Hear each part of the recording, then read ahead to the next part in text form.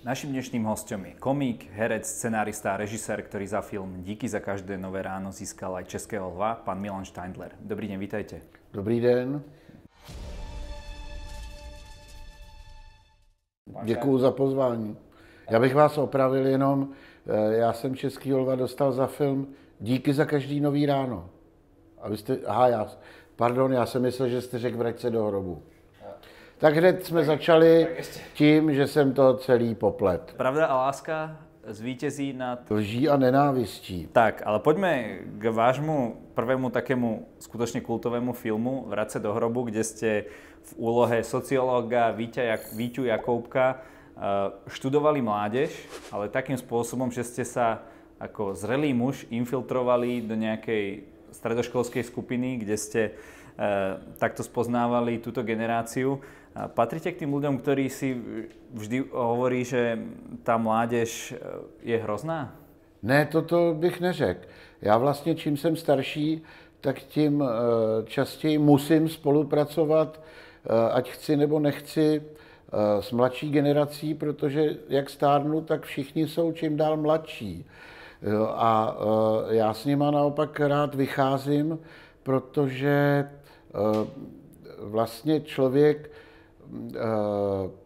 pro svoji práci potřebuje vždycky mít okruh spolupracovníků nebo poradců, kteří mu dodají nějakou novou myšlenku, nějaký nový impuls a v mém případě jsou to často mladí lidi, takže jako, mm, ostatně i v partnerských stazích moje maminka byla o 20 let mladší než tatínek a docela jim to klapalo. Hm, takže takéto tieto medzigeneračné veci máte zvládnuté, ale e, v čom tak hodnotíte súčasnú mládež oproti tomu, keď ste, keď ste vyrastali vy?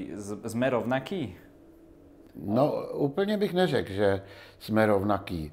Já si myslím, že ta uh, současná mládež vlastně se narodila v, určitý, uh, v určitým směru do, řekněme, pohodlnější doby, než jsme se narodili my. Naši otcové a matky žili v době, kdy byla druhá světová válka, kdy eh, museli přežít nejtvrdší eh, část eh, komunistické vlády a tak dál. A vlastně my jsme žili během komunismu a překonávali jsme ty, museli jsme se s tím nějak vyrovnat. A ta dnešní mladá generace vlastně se narodila už do celkem, řekněme, pohodové doby. Navíc je to generace, která se hodně zabývá, řekněme, jak to říct, moderníma technologiemi, takže už má úplně jiné starosti, než jsme měli my.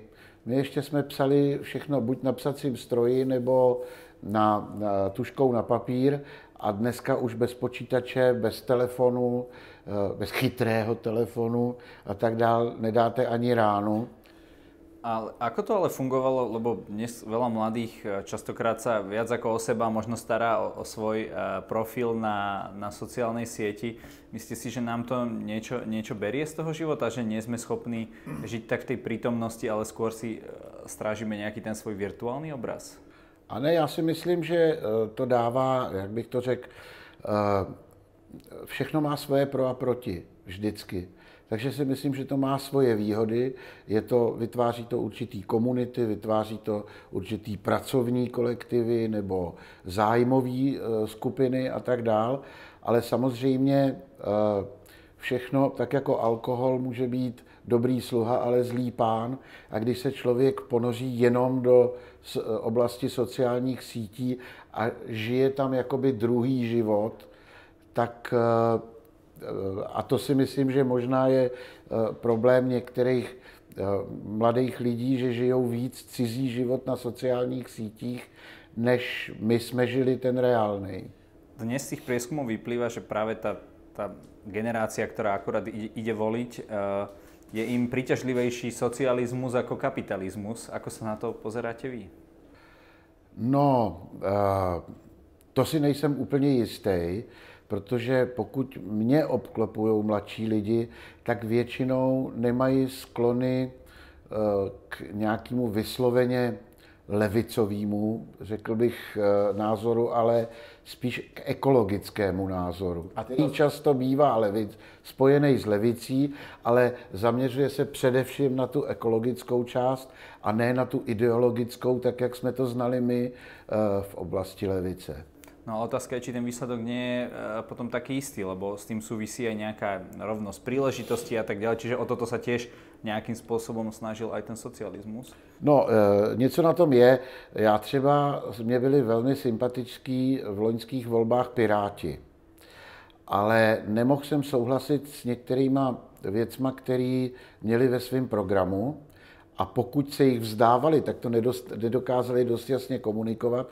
A to bylo třeba, e, že duševní vlastnictví, jako je například film, by měly být zdarma uváděny na internetu že by eh, neměli být chráněný, že to je vlastně společný vlastnictví. No jo, ale vyrobte film za v českém případě za 30 milionů, v americkém případě za 300 milionů a pak ho dejte na internet jen tak, že se na něj může každý dívat a je to naše společné eh, eh, vlastnictví. To nelze. Zrovna tak, když se dopracujete nějakého majetku, který často vybudujete opravdu z krve a potu a e, z odpírání si a tak dál. A najednou byste měl vlastně třeba, když dojdete k tomu, že získáte investiční byt třeba, nebo e, prostě e, nějakou větší nemovitost a najednou byste se měl dělit a přijmout tam tak jako v sovětském Rusku další nájemníky, kteří budou prostě sdílet s váma to obydlí nebo budou prostě měli byste se eh, tímhle způsobem dělit, tak, nebo platit z toho daň a tak dál, tak to se mi nelíbí. Já jsem v tomhle směru trošku konzervativnější. Nevím, či poznáte taký satirický seriál South Park, eh, kde... Poznám. A poznáte, tak tam bola vždy nejaká epizóda na nejakú tému, aspoň tak, ako som to vnímal ja. A jeden bol práve o týchto umelcoch, a tam si z toho robili ako keby v úvodzovkách srandu, že ľudia si stiahujú MP3 niekde na internete a on si nemôže chudá kúpiť druhé lietadlo, hej? Alebo že niekto, že tam si nemôže dovoliť zlaté polstrovanie.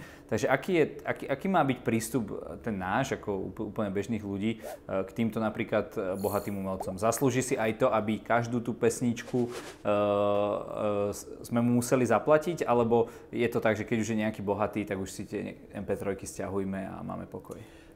to je trošku těžká otázka v tom smyslu, že ten člověk prostě nějakým způsobem jednak sám vyniká, protože je schopen psát takové písničky. Alebo vynikají ty lidé okolo něho, kteří z něho spravili ten produkt. No, já teď mluvím o autorech, já jsem mluvil o duševním vlastnictví. A to není jenom interpret, to je hlavně ten, kdo je autor té písničky. A jestliže ten autor tu písničku vymyslí, dokázal ji eh, prezentovat a dostat eh, na veřejnost tak, že, všichni, že to všichni milujou. A teď najednou by se mělo říct, no jo, ale on už má dost peněz, eh, takže nepotřebuje už další, kdo to rozhodne. Lidový soud, nebo hm, kdo by, kdo by tohle měl rozhodovat. Já si myslím, že záleží spíš na tom, aby každý z nás měl tolik morálky, že pokud eh, dosáhne určitého eh, bohatství, řekněme, tak eh, by měl sám mít natolik v sobě, řekněme, morální síly, aby část svého majetku dával na dobročinné účely to si myslíte, že sa z hľadiska prirodzenosti ľudskej povahy deje, bude diať? Lebo s tým súvisí aj veľa, veľmi tá klimatická kríza, lebo vyzerá to, že planéta má zdrojov dosť, len je to tak nerovnomerne usporiadané. No je to, je to nerovnoměrně uh, usporiadané, protože záleží na každém z nás, záleží na každém člověku a každý jsme jiný. Ale třeba uh, ve Spojených státech je do, eh, donátorství a dobročinnost mnohem víc jaksi eh, rozšířená, než třeba jsme tomu zvyklí u nás. A, ale tam taky samozřejmě to bohatství je nakumulovaný možná daleko větší, ale a, eh, mělo by se to stát tak, jako se stává, stává normou, například, že nechceme být rasisti a nechceme být, nechceme být třeba rasisti, tak bychom měli zároveň přijmout jako normu, že bychom, pokud dosáhneme určitého bohatství, měli přispívat těm slabším a chudším. To zále, na tom záleží na každém z nás, kolik na to máme a kolik můžeme dát. Já jsem teďko třeba, eh, a to nejsem nějak bohatý, ale eh, prostě eh, na Ukrajině je válka a paní, která mi pomáhá v domácnosti, tak její vnuk musel na frontu a postěžoval si, že ty jeho spolubojovníci a on nemají dobré boty, takže eh, by potřebovali termokameru na noční vidění a boty. Tak jsem udělal na Donio.cz sbírku a já, já nevím, nějakých 65 tisíc korun jsme nakoupili boty a termokameru, eh, za zbylý peníze nějaký léčiva a tak dál. Všechno jsme jim tam poslali a vlastně to nestálo ani tolik sil, ani tolik energie a e, musím říct, že e, u nás lidi na to přispěli poměrně rychle. Já jsem si tam dal asi 50 e, dnů, e, do kdy se ta sbírka má vybrat a e, všechno se nazbíralo ještě přes tu požadovanou částku asi do deseti dnů. Keď sa tento táto vojna, vlastne táto invázia začala, tak aj na Slovensku, aj zrejme aj v Čechách sme videli obrovskú vlnu solidarity, ktorá postupne nejakým spôsobom utichá. Podľa vás to ešte ľudia riešia? Sú ešte schopní takto prispieť ako v tých prvých mesiacoch? Alebo sme si na to už zvykli tak ako na všetko a, a budeme proste úplne bežne žiť s tým, že uh, niekde v prípade Slovenska pár sto kilometrov uh, niekde dopadajú rakety a znásilňujú sa malé deti a podobne? No, já si myslím, že samozřejmě, že si lidi na to začnou zvykat. Že si začneme zvykat. Uh, můj tatínek říkal, že člověk si zvykne i na šibenici. Ale uh, pořád nás neopouští ta snaha uh, aspoň nějakou, nějakým způsobem pomoct. Já si myslím, že zrovna tahle ta sbírka, když už o tom mluvíme, ukázala, že i pět měsíců po začátku té války Eh, lidi jsou ochotní přispět a pomoct. Hm, zvlášť, keď je to zrejme na nejakú uh, konkrétnu vec. Vy ste spomínali to, že kto na koho dopláca a tak ďalej. To bolo aj takou ústrednou témou si rozdelenia Československa. My sa blížime k 30. výročiu. Uh, ako vy to vnímate s odstupom tých 30 rokov? Tak já jsem určitě já jsem určitě nebyl pro uh, rozdělení Československa. Já jsem ostatně v Československu vyrost a když řeknu v cizině, když se mě ptají, odkud pocházím, tak říkám Čekoslovakia, protože to všichni znají. Kdežto Ček, Slovak, tak to pletou si to. Čechy si pletou s Čečenama, eh, Slováky se Slovincema a tak dál. Když to, když člověk řekne Čekoslovakia, tak si to každý pamatuje ať v Americe nebo v Izraeli. Kdekoliv jsem to řekl, tak to všichni vědí, oč běží. Takže já oso- osobně jsem v tom navíc vyrost a byl jsem na to zvyklý. Slovensky rozumím a e, ostatně moje manželka e, byla Slovenka, teda byla. E, moje bývalá žena je Slovenka. Tak. Takže máte k tomu nějaký Takže vztah. mám k tomu nějaký vztah. E, a Eh, navíc si myslím, že já jsem k tomu přistupoval takhle. Já jsem si říkal, dobře, můžeme se rozdělit, protože to, co se má spojit, tak se asi napřed musí rozdělit a pak třeba v rámci Evropy opět spojit. Pýtam sa to aj z toho dôvodu, že my sa niekedy tak eh, až túžobne pozeráme na tú vašu kinematografiu, tie české filmy, sú oveľa známejšie na Slovensku ako slovenské v Česku. Vníma, ako vy vnímate vlastne uh, slovenskú kinematografiu? Je to tak, ako, ako to vnímame my, e, že je na oveľa nižšej úrovni ako ta česká? To já si nemyslím. Já si myslím, že to je jenom uh, v početní převaze, že u nás se vyrábí víc filmů, ale čím víc filmů se vyrábí, tím větší je balast. takže ne vždycky jenom ta, ta početní převaha nějakým způsobem eh, funguje nebo má smysl. Takže já si vůbec nemyslím, že by slovenská kinematografie byla uh, slabší. Jenom je tam menší počet eh, filmů, menší počet třeba filmových tvůrců, ale třeba pan režisér Šulík, každý jeho film je nějakým způsobem umělecký počin znamenitý, nebo uh, režisér Bebiak, ten točí vlastně hodně u nás, ale je to slovenský režisér, který je velice známý, taky točí skvěle a tak dál. Takže... Aký je taky váš nějaký váš uh, čisto slovenský oblíbený film? No, abych se přiznal, já jsem teďko dlouho slovenský film neviděl. Já jsem, uh, ale dejte mi tři čtvrtě hodinku, já si vzpomenu, jo? Dobre, dobre, dobre.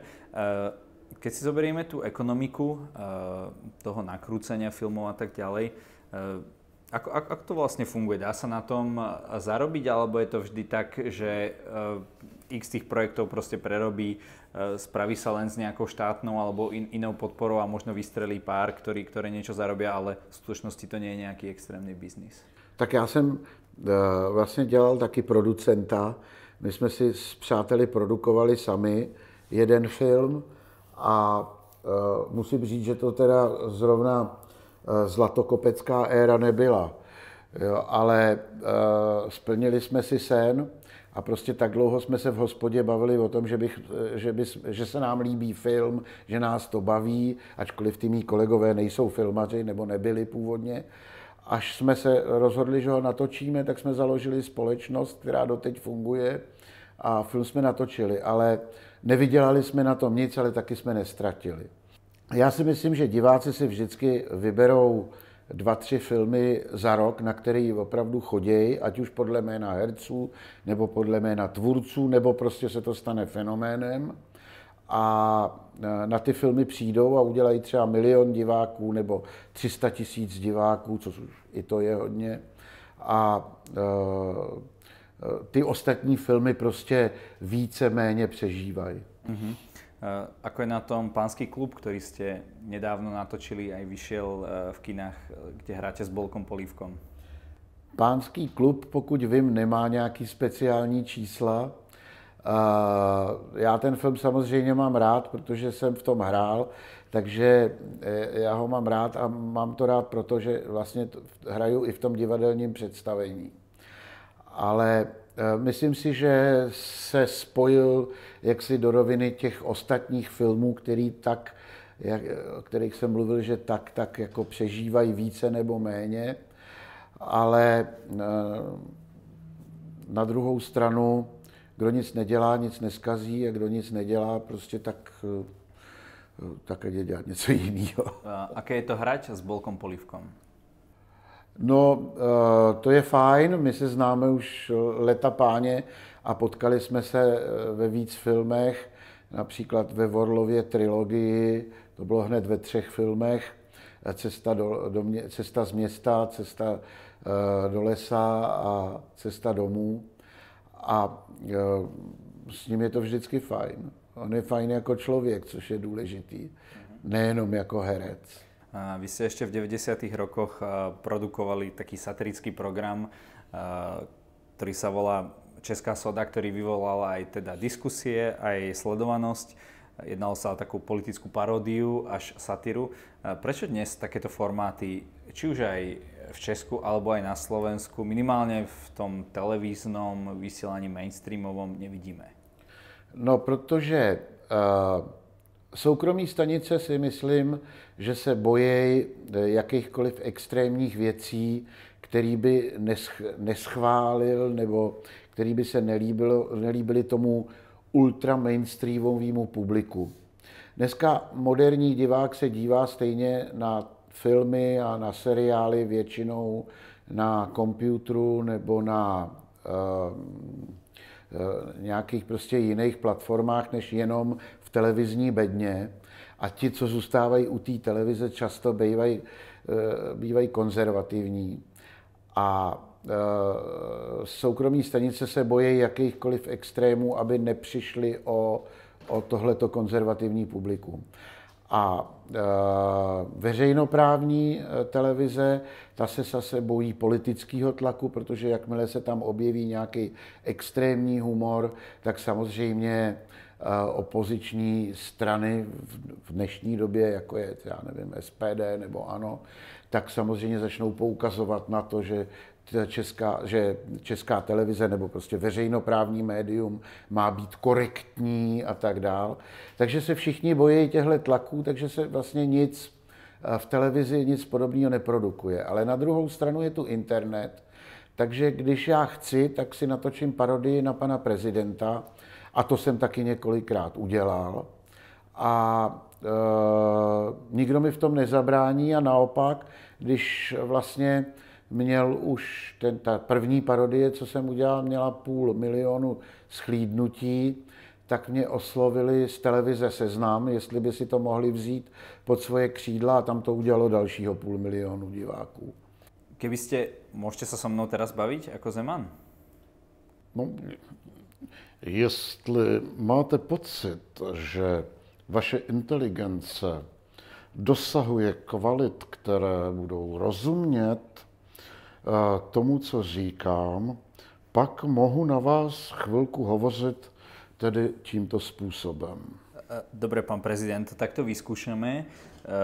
Vy ste známi tým, že sa vyznáte do mnohých tém, v podstate do, do všetkých? Řekl jste to správně. Ano, vyznám se ve všech sférách, jak filozofie, umění, tak samozřejmě i politiky. Co by vás tedy zajímalo? Mali by, mal by být herec alebo herci akýmsi svědomím národa? Herci by měli především hrát a měli by hrát ohladu, protože, jak jsem již dříve řekl, umělci, zvláště herci, dosáhli největších kvalit v těch dnech, kdy měli hlad. Mal by herec verejně prejavovat nějaké svoje politické názory? Herec eh, nemá žádné názory. Herec by neměl projevovat žádné názory, natož politické. Herec je člověk, promiňte, to jsem přehnal, herec není člověk, herec nemá právo na žádné názory, herec může na jevišti akorát, a k tomu je vyzývám herce, shut up držet hubu. Čo hovoríte napríklad na vystúpenia istého herca Milana Steindlera, ktorý vás eh, v divadle Sklep eh, niekedy paroduje a smeje sa celá, celá sála? Um, pan Steindler, toho jsem si všiml, že se pokouší mě parodovat. Já jsem mu osobně sám zatelefonoval a řekl jsem mu, že se na něj nezlobím za to, že mě paroduje, protože politik to musí unést, když si z něj ostatní dělají legrace. A pan Steindler mi na to řekl, že jsem gentleman. Vnímali jste aj nějaké také politické parodie z, zo Slovenska, napríklad Noga skrúcaný, Rastio Píško, Milan Markovič. Bavilo vás to? Aspoň toto? Uh, ano, zaznamenal jsem.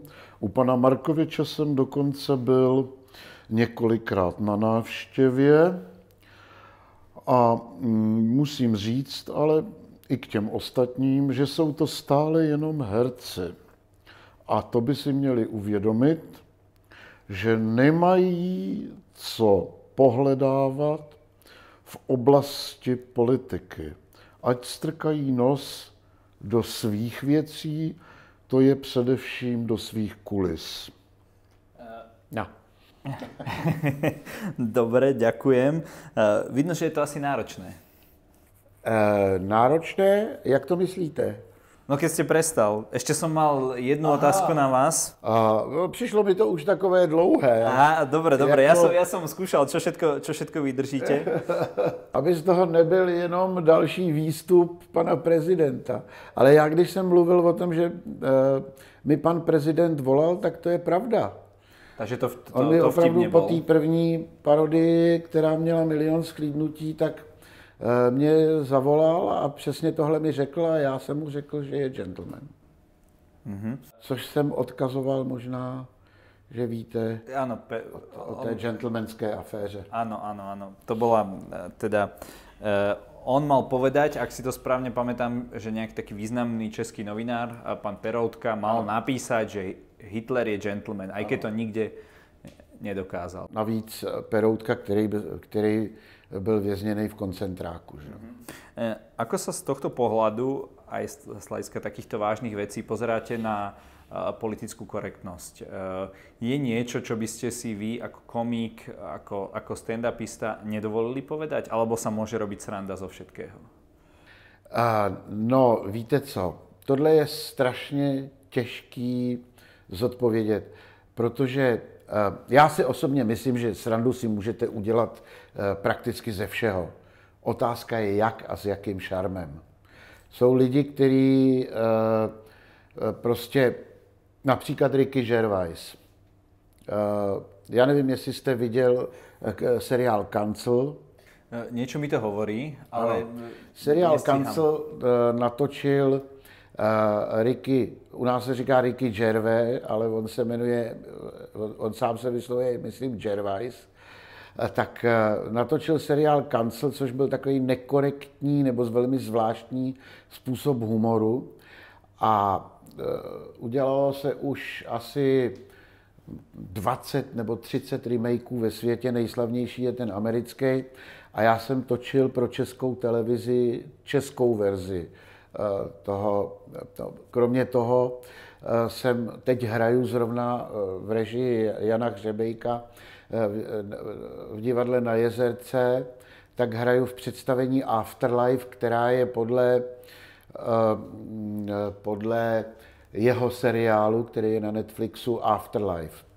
A uh, Ricky Gervais má spoustu stand-upů, uh, kde se vyjadřuje k, ke spoustě různých věcech. Mluví o Hitlerovi, mluví o úchylácích, mluví o politice, mluví o všem možným a Eh, dělá to se šarmem. A je to tak tvrdý a tak neuvěřitelný. Teď si třeba puste eh, na Netflixu, je Supernatural se to jmenuje. A to je takový celovečerní stand-up jeho. Ten si může dělat legraci prakticky z kohokoliv. Toho si pozvali na uh, uh, uvádí, na, aby, toho si pozvali, aby uváděl Zlaté globy v USA a on tam přišel a napil se takhle skleničky, ze skleničky vody, podíval se do toho publika, tam seděl nějaký Brad Pitt nebo tyhle ty hvězdy. On říkal, napnutý, klid, to není o vás. A tímhle začal a vlastně celou dobu je tam jenom urážel. A oni si ho příští rok pozvali znova. Takže uh, myslím si, že když to někdo dokáže takovýmhle způsobem, tak může samozřejmě. Ale uh, na to je potřeba mít soudnost. Keď si zoberiete dnes ten meniaci sa svet a tá jedna kríza strieda druhú, pozeráte sa do budúcnosti s nejakým takým optimizmom alebo realizmom, alebo ako to vidíte? Já bych řekl, že s realismem. Eh, víte co, v každé době, v každé době se říkalo, že doba je těžká. Ať to bylo za 30 letý války, za druhé světové války, nebo za krize v roce 2008, anebo za současné krize, pořád se bude říkat, že doba je těžká. Pořád eh, lidstvo se zásadně nezmění v tom, že bude méně nebo více existovat chudoba, bude, budou se objevovat různé krize, budou se objevovat války. Historie se opakuje, jenom se opakuje ve spirále. Jo? A e, taky se mluvilo o tom, že nebude už válka v Evropě. A máme ji tady a hned za dveřma. A před pár lety to bylo v Jugoslávii. Takže e, to se, to se bude dít pořád a doba bude pořád těžká.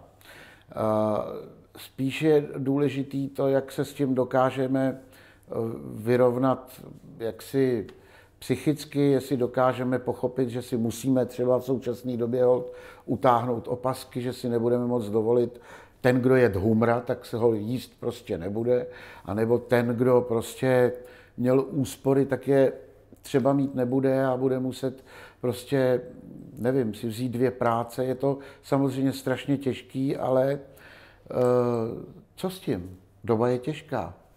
Čo je ten váš recept na to, aby, ako sa nezblázniť? No, recept, jak se nezbláznit. No, já už jsem se málem zbláznil, takže já už to mám za sebou. A e, můj recept byl, e, já, já jsem vlastně žil celkem bohatý život, ale a když jsme u toho Slovenska, tak e, vlastně moje žena byla, nebo je, moje žena je Slovenka, bývalá žena je Slovenka, ale měli jsme strašně těžký rozvod a strašně těžký rozchod.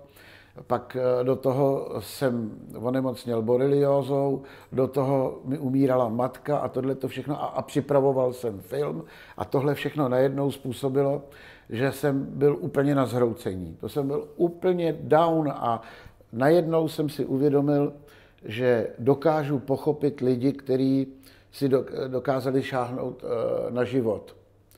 A to jsem si myslel, že já bych nikdy nemohl. A v tu chvíli jsem pochopil, že musím vyhledat pomoc a něco s tím dělat. A, a našel jsem. Prostě jsem si našel psychoterapeutku, našel jsem si psychiatra eh, a hlavně jsem se vrátil do divadla Sklep, kde jsem hrál tehdy jenom sporadicky. A zjistil jsem, že divadlo Sklep je nejenom eh, řekněme, divadlo a eh, humor, ale že to je taky velmi eh, osvěžující léčebná platforma. Takže každý se s takovouhle situací musíme vyrovnat eh, po svým. Najít, buď se s někým poradit, ať už s přáteli, nebo ostatně přátelé máme mnohdy od toho, aby nám pomohli. Podle toho se přátelé poznají tak to je, to je určitě jedna z cest a pak prostě najít někoho, třeba odborníka, kdo vám pomůže. No. Ale i třeba ve finančních, to spousta lidí má finanční problémy dneska a bude mít určitě, a, tak najít, já nevím, třeba finančního poradce. Třeba i v řadách přátel, to je jedno, ale prostě uh,